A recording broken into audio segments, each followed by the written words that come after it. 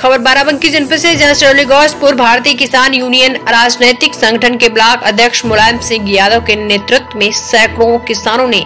STM को 16 सूत्री मांगों को लेकर ज्ञापन सौंपा ज्ञापन में बताया कि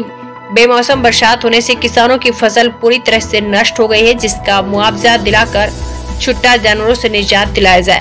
ब्लॉक अध्यक्ष ने कहा, अगर हमारी मांगों को पूरा नहीं किया गया तो हम लोग धरना प्रदर्शन करने के लिए तैयार हैं। इस मौके पर राजेंद्र प्रसाद वर्मा तहसील अध्यक्ष रामफेर रावत मनोरथ चौहान मुरारी मौर्य बेचन वर्मा सहित सैकड़ों लोग मौजूद रहे। क्या नाम किस पद पर आप तैनात हैं? मुलायम सिंह यादव भारतीय किसान यूनियन आधार नेतृत्व से ब्लॉक अध्यक्ष सिरौली घोषपुर आपने उप जिलाधिकारी महोदय जी को ज्ञापन दिया इसका क्या कारण है? मैंने जो आज उप जिलाधिकारी महोदय जी को ज्ञापन दिया है उसमें सोलह सूत्रें मांगे हैं जिससे बेमौसम बरसात होने के कारण जो फ़सल किसानों के नष्ट हो गई हैं, उनके लिए मुआवजा दिलाने दिलाने का कार्य करें और बहुत सी मांगे हैं। अगर आठ दिनों के अंदर उन मांगों का निस्तारण नहीं किया गया तो भारतीय किसान यूनियन राजनीतिक तहसील